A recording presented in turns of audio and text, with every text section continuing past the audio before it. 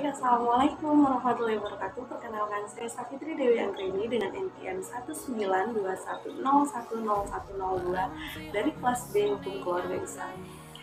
Uh, tujuan saya di sini untuk memenuhi tugas akhir semester saya dalam mata kuliah Hukum Perdata Internasional yang diampu oleh Bapak Idrus Al-Ghifari SHMH.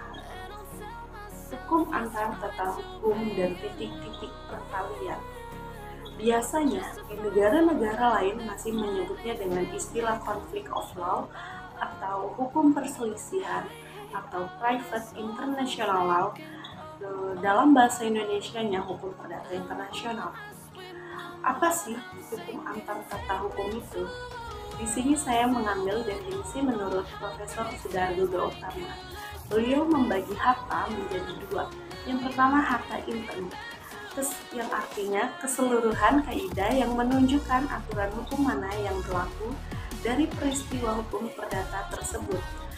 Intern di sini menunjukkan tidak ada unsur asing sama sekali, sehingga dibagi menjadi empat kategori dalam harta intern, eh, yaitu hukum antar waktu, lalu hukum antar tempat, hukum antar golongan, hukum antar agama.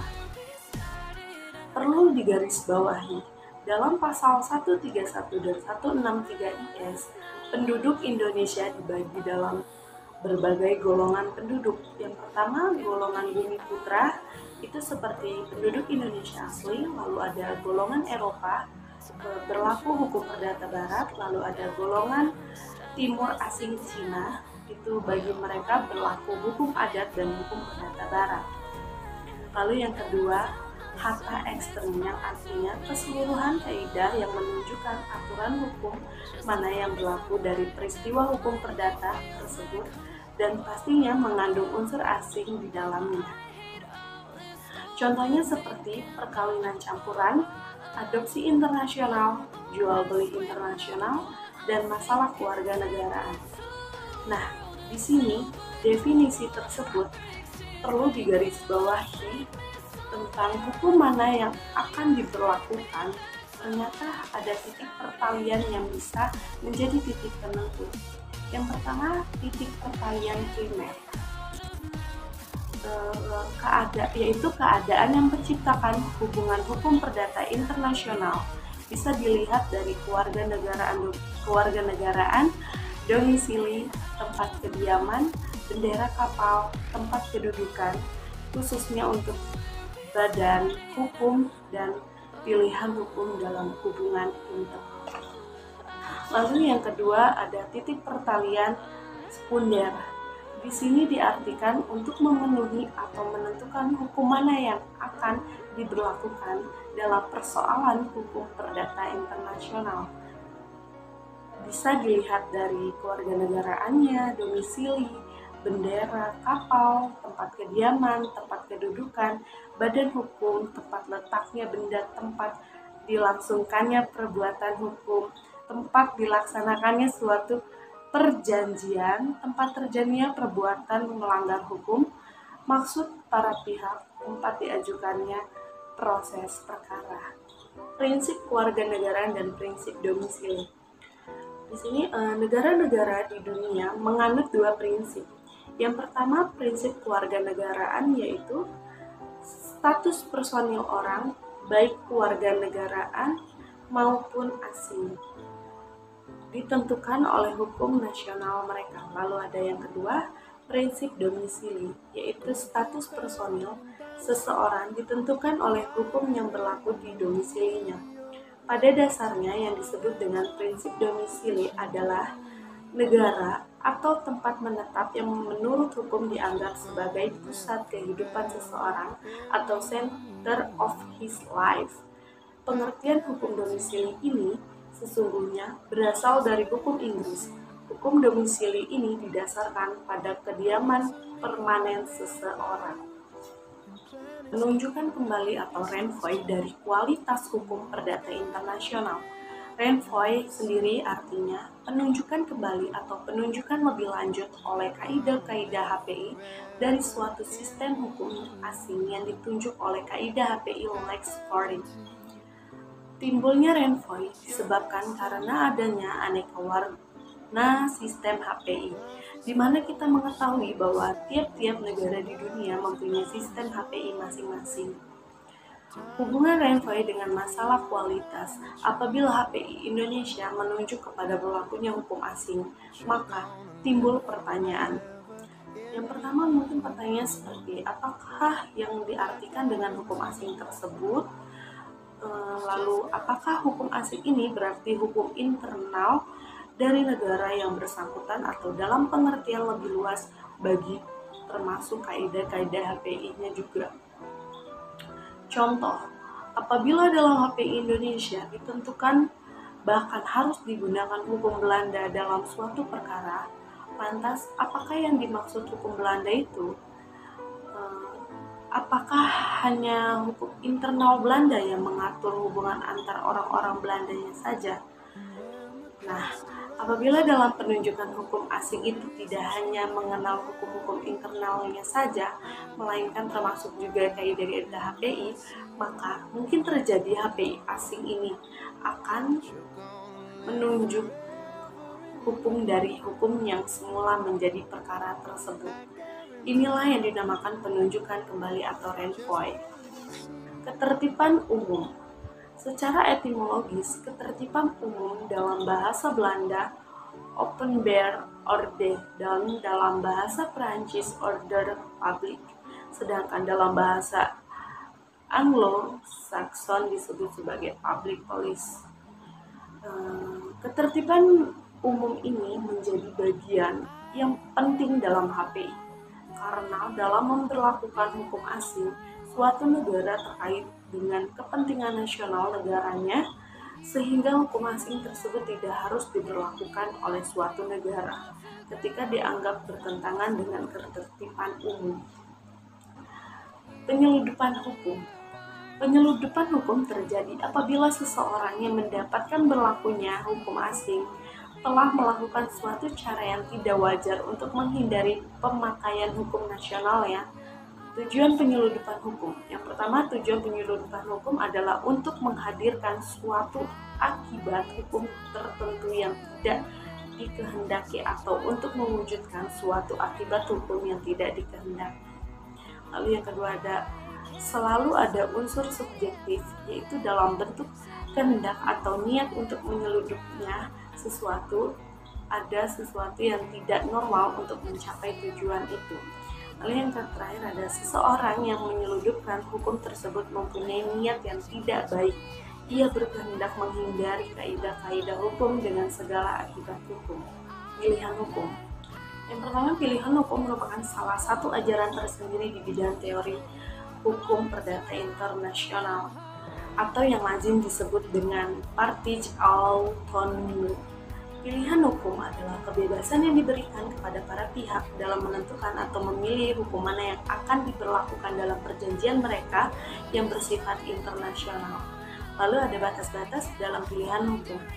Uh, adapun batas-batas terhadap pilihan hukum. Yang pertama, pilihan hukum tidak boleh bertentangan dalam ketertiban umum atau public policy. Lalu yang kedua ada pilihan hukum hanya dapat dilakukan dalam hukum kontrak uh, lalu ada macam-macam pilihan hukum. Ada empat macam pilihan hukum yang dikenal dalam pembacaan HPI, yaitu pilihan hukum secara tegas, pilihan hukum secara diam-diam, pilihan hukum yang dianggap atau yang disebut juga presuptio iuris, lalu ada pilihan hukum secara hipotesis. Teori pilihan hukum terdiri dari yaitu teori lex loci contractus, teori Lex Loci Solutionist, lalu ada teori The Most Characteristic Connection. Hak-hak yang telah diperoleh. Konsep hak-hak yang telah diperoleh dalam HPI. Istilah hak-hak yang diperoleh sering disebut dengan right and obligation created abroad atau hak dan kewajiban hukum yang tertib berdasarkan hukum asing yang menjadi persoalan dalam HPI apakah hak dan kewajiban hukum yang dimiliki seseorang berdasarkan kaidah-kaidah dari suatu sistem hukum asing tertentu harus diakui atau tidak oleh Lex Pori. Itu menurut Sunaryati Hartono. Menurut Profesor Sudargo Gautama, Dalam HPI masalah vested right ini dikemukakan untuk memasalahkan sejauh mana perbuatan-perbuatan yang terjadi terhadap fakta-fakta akan mempengaruhi berlakunya kaidah-kaidah hukum yang semula digunakannya. Vested right dapat didefinisikan sebagai suatu perbuatan yang dilakukan di luar forum dapat menerbitkan suatu hak yang melekat pada pihak penggugat dan akan dilaksanakan atau diakui oleh forum tempat hak itu diajukan sebagai perkara. Persoalan pendahuluan Pengertian persoalan pendahuluan Persoalan pendahuluan atau dalam bahasa asing for Reich in bahasa Jerman uh, insiden au project dalam bahasa Prancis uh, merupakan bagian teori umum HPI yang di waktu akhir ini telah memperoleh banyak perhatian para sarjana. Dengan bagian lain, dari teori umum HPI terdapat hubungan erat misalnya dengan masalah kualifikasi dan Renvoy dengan masalah hak-hak yang telah diperoleh yang sudah kita uraikan secara tersendiri di atas. Lalu uraian istilah. Apa yang diartikan dengan istilah? Persoalan pendahuluan ini. Keputusan terakhir dari suatu persoalan HPI yang diajukan di hadapan hakim suatu negara tergantung dari pemecat terlebih dahulu daripada suatu persoalan lain. Persoalan inilah yang dinamakan persoalan pendahuluan. Persoalan yang harus dipecahkan lebih dahulu ini tampil ke muka jika dalam suatu persoalan pokok yang diajukan di hadapan hakim telah menjadi pasti hukum mana yang yang harus dipergunakan dalam menyelesaikan persoalan pokok ini. Lalu ada uh, pembatasan dari persoalan pendahuluan terhadap lain-lain persoalan yang berdekatan. Yang pertama ada terhadap telfragen, yang kedua ada terhadap kualifikasi. Penyesuaian HPI Pengertian penyesuaian. Penyesuaian adalah suatu kegiatan meliputi suatu pengertian hukum asing ke dalam pengertian hukum atau terminologi hukum sendiri. Penyesuaian itu meliputi transposition, substitution, adaptation, dan berdasarkan suatu ketentuan atau peraturan. Transposition adalah pemindahan dari hubungan-hubungan hukum perbuatan-perbuatan hukum atau pernyataan kehendak menurut suatu sistem hukum tertentu ke dalam pengertian-pengertian hukum lain.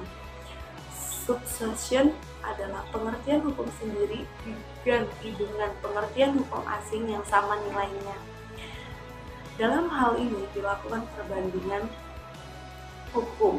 Adaption adalah penghalus hukum dengan mengkombinasikan pengertian-pengertian hukum yang saling berkaitan, penyesuaian harus dilakukan berdasarkan suatu ketentuan atau peraturan. Timbal balik dan pembalasan. Tidak semua penulis HPI memperlihatkan masalah ini karena masalah ini lebih memperlihatkan corak-corak hukum internasional publik daripada perdata, terutama di bidang hukum orang asing. Kita saksikan pentingnya masalah timbal balik dan pembalasan ini karena kita condong pada pengertian luas mengenai HPI yang mencakup pula condition excited ini.